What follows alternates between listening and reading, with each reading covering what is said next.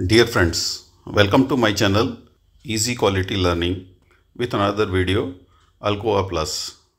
In this video, we will understand what is Alcoa Plus and what are the things which are to be discussed in Alcoa Plus and what are the concepts and examples of each clause. So in this, the contents are elements of Alcoa Plus, application of Alcoa, definition of each attribute. So let us start with elements of Alcoa Plus. So first element is attributable, second is legible, then contemporaneous, original, accurate, then complete, consistent, enduring and available. So this all the elements makes Alcoa Plus. So let us discuss one by one.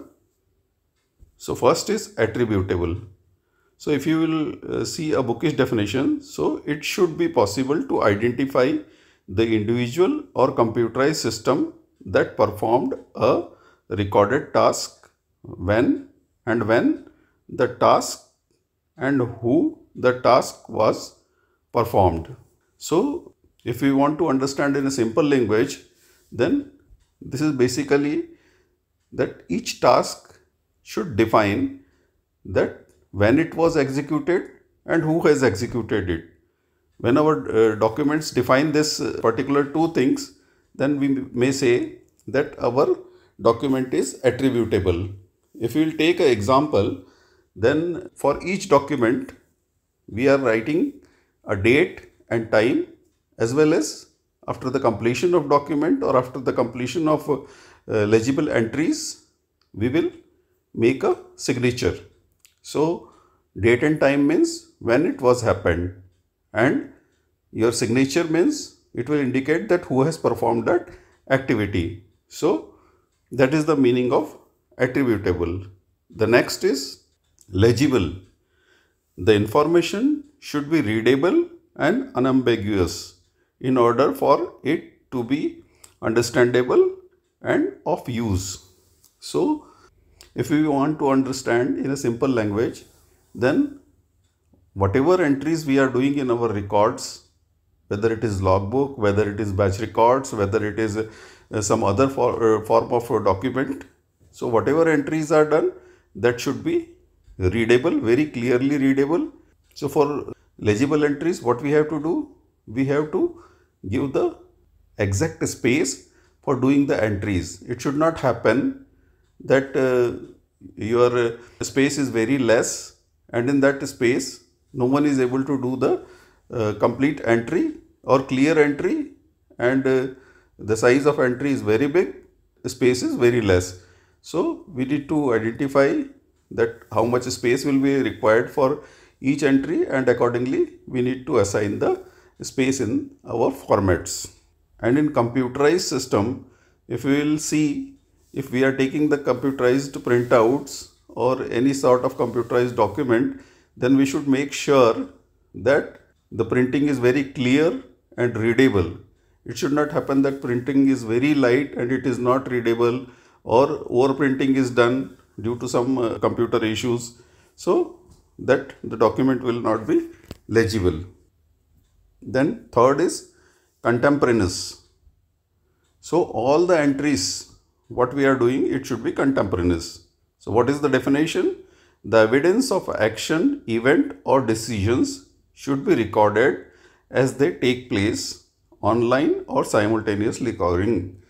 Means whatever entries we are doing in our documents, whether it is computerized system, whether it is paper-based system or whether we are doing entries of some logbook or whether we are doing entries of some different type of uh, forms or any analytical data sheets.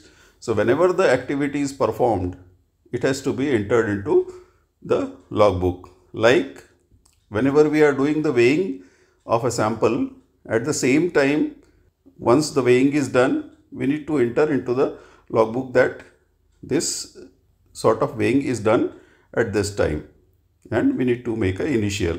So these type of entries are called contemporaneous entries. The next is original. The original record can be described as a first capture of information whether recorded on paper or electronically. So whatever the first capture of the record is there, whether it is uh, your printout, whether it is your uh, some sort of uh, uh taking the readings uh, from instrument, so that is called the original record. And when it is tra transcribed into some other form then it is a modified document. But original entries will be the first capture which is done. In case of computerized system, you must have seen that whatever first record of uh, your HPLC system is there, so some files are being made at the time of generation of chromatograms in your computer system. So they are the first capture. And whenever we are integrating those data and, and after that we are taking the printouts, so that printout is the second capture or second mo uh, modified version of the our data. Then accurate records need to be truthful representation of facts to be accurate. So whenever we are doing the documentation, so it is our duty that uh, uh, we need to make sure that whatever records we are uh, taking or whatever readings we are writing down or whatever your observations we are taking, they should be correct and they should be truthful. So how we need to ensure that they should be truthful? If we are taking a weighing analytical balance, then we need to ensure that our analytical balance is qualified and it is well calibrated before doing the activity. If we are doing analysis on HPLC, then it need to be ensured that is in calibration range. And if we are doing some operation on uh, your FBD or RMG, then we need to ensure that our RMG is properly qualified and ready for use. So that is called accurate. Then next one is complete. All the information that could be critical to recording and event. So uh, let us suppose you have written some information on the paper but along with that if supporting information is not there then that uh, the first information which is written it is of no use so let us take the example of uh, again weighing on analytical balance that you have done the weighing of uh, Prince standard or working standard on an analytical balance and that weight uh, printout is taken so unless and until you don't write that what is that sample which has been weighed and what is the date and time and who has weighed it. So that information is of no use and it is not complete. So in order to make the information complete along with the readings the additional information need to be available in the document. Then consistent. The information should be created processed and stored in a logical manner. Consistent means you can understand from an example that if we are writing a weight in our logbook, so if we have to write uh, every day some entry like uh, 1 kg. So first day we write 1.00 kg. On second day we write 1 kg. Third day we write 1.0 kg. And fourth day we write 1000 gram. So all the entries are 1 kg only, but your entries are not consistent. Means they are not following one uniform pattern. Similarly, if you will see in a computerized system, so whenever uh, you are taking a report of uh, IR or UV or uh, HPLC chromatograms, so the format is fixed. So your document should be consistent. If it is generated 100 times also, it should be similar. Then enduring. The record should be kept in a manner such that they exist for an entire period specified in the system. So for to understand enduring that uh, whenever we are taking a printout uh, of uh, particle counters, so most of the time uh, the paper which is fed on particle counter it is thermal paper and after some time it fades up. So what we have to do we have to Xerox it and we have to keep the copy also of that particular printout so that even if uh, your record get faded on the original then also our entries will be preserved. So our record will be remain in existence or remain valid for entire period of specified times.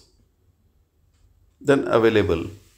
The record shall be available for a review at any time during the required retention period accessible in readable format.